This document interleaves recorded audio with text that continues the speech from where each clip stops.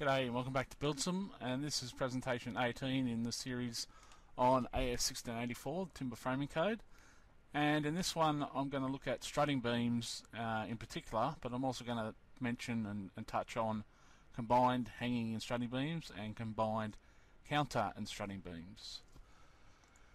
So with respect to strutting beams, uh, Rule 7.2.9, Rule 7.3.11 and Table 27 are what we need to look at. Um, but uh, if you have a combined hanging strutting beam, you need to look at a separate table. And if you have a combined uh, counter and strutting beam, there are different tables that pertain to those. The rules aren't much different, but the tables in particular are different. So make sure you're reading the right table for the particular beam that you are using. So the rules for strutting beams, the ends of strutting beams shall bear on the full width of the wall plates.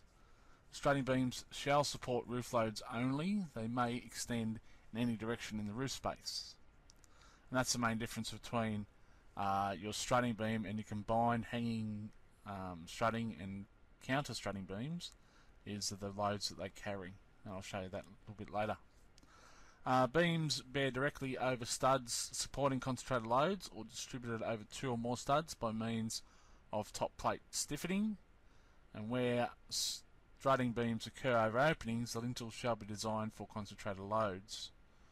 Blocking shall be provided between struts and wall plates to provide an initial clearance of 25mm at the mid-span between the underside of the beams and the tops of the ceiling joists ceiling lining or ceiling battens as appropriate. So initial clearance, so 25 mil before it's loaded. Um, hopefully that'll mean that the deflection of the beam won't interfere with your ceiling line.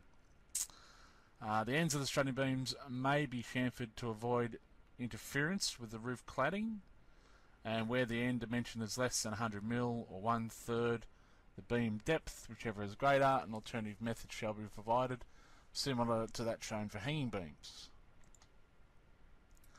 Rule 7.3.11 says that strutting beams shall be determined from table 27 uh, and the top edge of the strutting beam with a depth to breadth ratio exceeding 3 shall be laterally restrained to stop them, stop them from falling over.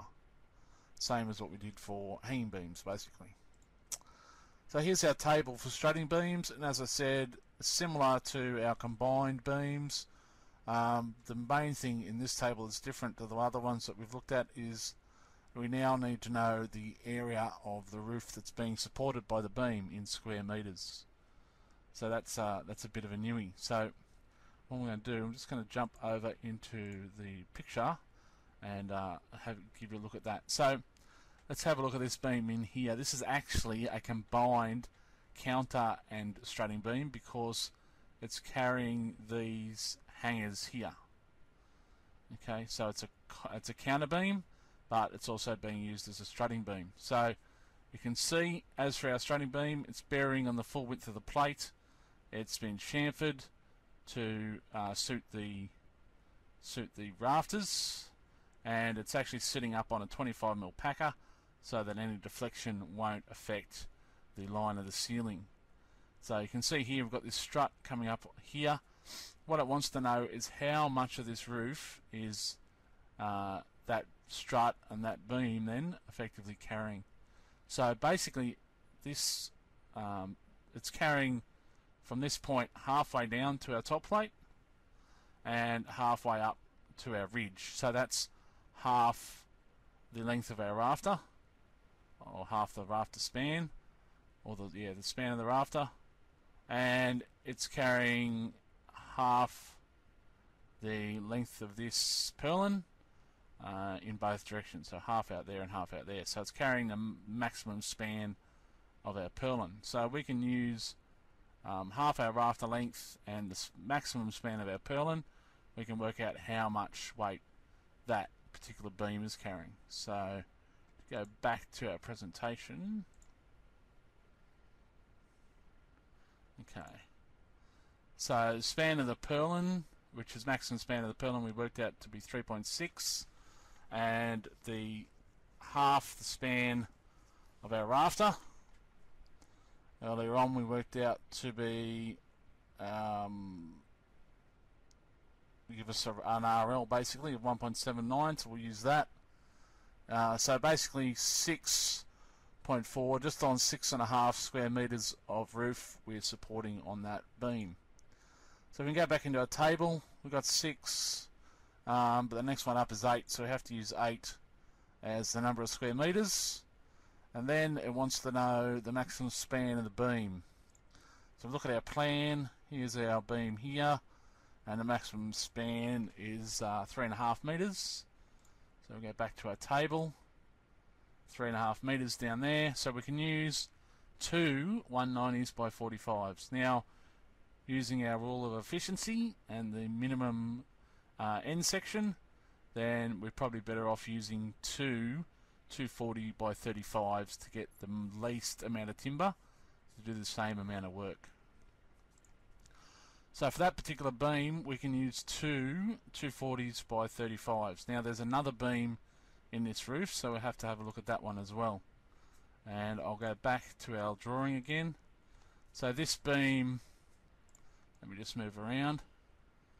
Now this beam in here, you can see the strut uh, on there, the flying strut. Okay, this is, again, it's not a strictly a strutting beam, it's a combined hanging and strutting beam because we've got these ceiling joists hanging off it.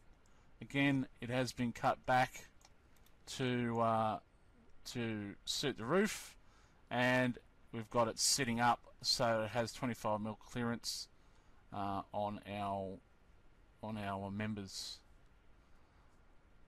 So we have to work out the area that that's carrying. So it's actually carrying this entire purlin from from that end to that end, and it's carrying half again half the rafter up, half the rafter down. So we can use that distance there, and that distance there, because it's the purlin, happens to be the half span of our building. Okay, because our purlin is positioned halfway up our roof, so that's our half span plus half, oh, times by half our rafter will give us the area for that. So jump back into our presentation.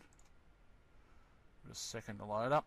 So a half span we worked out was 3.635 by our half rafter gives us a area of 6.5 which is very similar to before so we can still use our 8 column and this time our span is 3.69, so nearly 3.7. So we have to come down our column, and the next best one we have is 4 meters. So we can use our two, two point, uh, 240 by 35s, which is good, because that's the same as what we had for the last one. So we can use two 240 by 35s for our strutting beams. So that's uh, worked out our strutting beams. But remember, uh, if you are using or if you are using a, a counter beam or combined counter strutting beam or a combined counter hanging beam, make sure you're using the right tables for those members.